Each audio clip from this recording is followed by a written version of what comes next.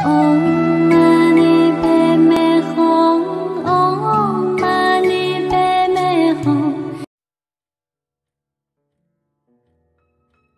Lê Thuận Nghĩa, đầu tuần này tôi vừa kết thúc một chuyến đi xa.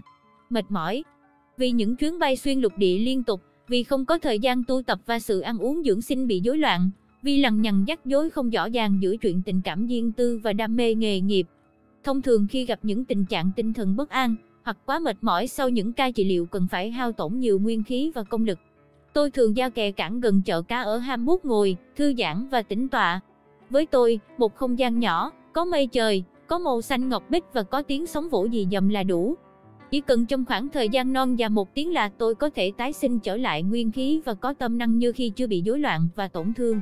Tôi thường ra kè cảng vào buổi chiều các thứ sáu hàng tuần, nếu không phải đi đâu xa. Nhưng tuần này, tôi lại ra đó vào chiều thứ ba.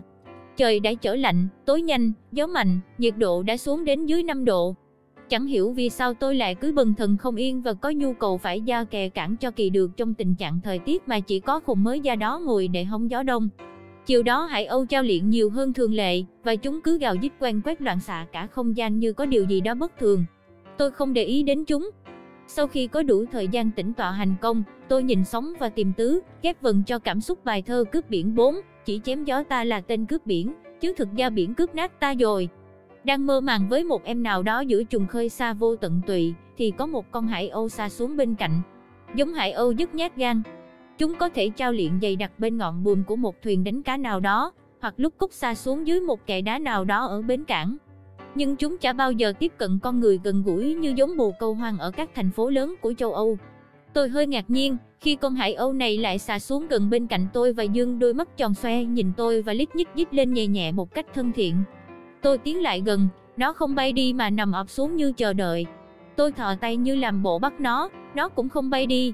Ngạc nhiên, tôi túm lấy nó, nâng lên. Thì thật bất ngờ, phát hiện ra hai chân nó bị vướng quắn vào nhau bằng một búi dây tơ ni lông. Tôi gỡ búi tơ ni lông ra, thì thấy một chân nó bị gãy gần kheo bàn chân. Trong túi da nâu luôn mang theo mình như vật bất ly thân của tôi, bao giờ cũng đầy đủ dụng cụ đồ nghề y tế. Tôi dùng cuộn băng tạ binh màu đỏ và chẻ nhỏ que đè lưỡi khám miệng da, bó lại chân cho nó. Bó xong chân tôi thả nó ra, xùy xùy cho nó bay đi. Nó vẫn không chịu bay, lại còn dương mắt tròn xoe da nhìn, dinh dít trong mỏ. Tôi bắt lại nó, nhìn thẳng vào mắt nó và nói với nó như nói với một con người. Mày đừng sợ, không sao đâu, cái băng keo này thấm nước thì tự tự nó sẽ tự động giải ra, tao chắc chắn là một vài ngày sau. Khi chân mày liền lại, thì cái băng keo này cũng giả nước mà rơi ra thôi. Thật lạ, lần này thì con hải âu rủi ro này, bay vút lên không trung và dít lên từng chàng thật lãnh lót. Riêng tôi, rất hài lòng với bản tình ca của biển này. Tuy có chút ngạc nhiên, nhưng tôi cũng không thật để tâm lắm. Vì tôi đã quá quen với bản năng giao tiếp vô ngôn của các loài linh thú. Điều làm tôi sửng sốt nổi da gà, là sáng hôm sau, khi tôi đang ngồi uống trà sáng thì nghe tiếng lãnh lót quen quen bên trên khoảnh vườn ngoài ban công nhà tôi ở. Thật không tưởng tượng nổi, trên khoảnh trời nhỏ này, trong những con hải âu đang bay lượn ấy, có một con có cái chân băng màu đỏ. Và còn ớn lạnh hơn, nó ngậm một con cá nhỏ như ngón tay và chỉ cùng bầy đàn của nó bay đi khi thả con cá nhỏ lên khu vườn nhỏ trong khuôn viên nhà tôi. Tôi xuống vườn, nhặt con cá lên và nhìn nó chân chân, với những lùng bùng câu hỏi trong đầu. Lập trình ngôn ngữ tư duy nào cho trường hợp này? Nhìn con cá bằng ngón tay đã chết, tôi chợt nghĩ đến vòng luẩn quẩn của sự sinh tồn tự nhiên. Những bữa tiệc linh đình của loài người, được làm ra từ thịt của các loài muôn thú, sẽ được họ tận hưởng với Mỹ từ nghệ thuật ẩm thực. Nhưng họ nào biết trong thế giới của loài vật, loài người quả thật là một loài ác thú khủng khiếp nhất hành tinh xanh này. Loài hải âu kia sẽ xem loài cá nhỏ đang bơi lội dưới dòng nước trong xanh kia là tuyệt phẩm cho sự sinh tồn của nó. Và loài cá kia sẽ xem những loài tôm tép nhỏ khác là nghệ thuật đời sống của nó, khi nuốt những con vật nhỏ bé ấy vào miệng. Tôi không có nhiều trải nghiệm tâm thức về chuyện con hải âu này, và cũng không phải thêm thắt mắm muối cho câu chuyện để muốn giao giảng về việc ăn chay, vì vạn vật đều có linh tính riêng của nó.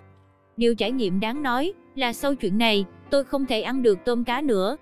Trước đây, tuy không ăn thịt, nhưng thỉnh thoảng vẫn ăn tôm cá để bổ sung nguồn năng lượng khí hậu thiên khả dĩ cho quá trình hành công trị bệnh. Nhưng bây giờ lại cảm thấy ghê tởm chính mình khi phải đụng đũa đến những thứ đó. Có thể tôi là người cổ hủ, lập dị và cố chấp, nhưng với tôi thì tôi cảm thấy an lành hơn cho tâm thức của mình.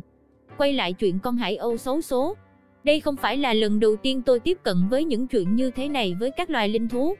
Hồi tôi còn lên 4 lên 5 gì đó, trong một làng chơi nước lũ, tôi bị dòng nước xoáy cuốn đi. Nếu không có con chó vịnh nhà tôi lao xuống trong dòng nước xiết kéo tôi vào bờ, thì tôi đã chết từ dạo đó. Và cũng từ đó tôi đã xem thú vật là thân hữu và kèm theo một chút cố chấp trong giao tiếp là dứt ghét những người ăn thịt chó. Việc trải nghiệm trường năng lượng vô đối của lòng yêu thương không vụ lợi thông qua sự trì luyện các môn khí công dưỡng sinh tương ứng, để cho tôi một trường năng lượng phòng vệ khả dĩ. Mà khi trong một hoàn cảnh nào đó, nó được phát tiết ra trong tình trạng vô thức sẽ tạo ra một trường giao tiếp vô ngôn với thế giới xung quanh. Loài vật với bản năng giao tiếp dưới các dao động năng lượng sẽ rất dễ dàng tiếp cận với trường năng lượng phòng vệ này. Không thể có một logic nào cho việc lập trình ngôn ngữ tư duy này. Vì chính tôi cũng không hề cố ý có lập trình này khi giao tiếp với các loài vật ấy. Tôi không nhận được phản hồi ngôn ngữ từ chúng vì tôi không hiểu tiếng nói của chúng. Nhưng ngược lại, chúng hiểu và biết được tôi là ai thông qua sự tiếp nhận dao động năng lượng của chúng.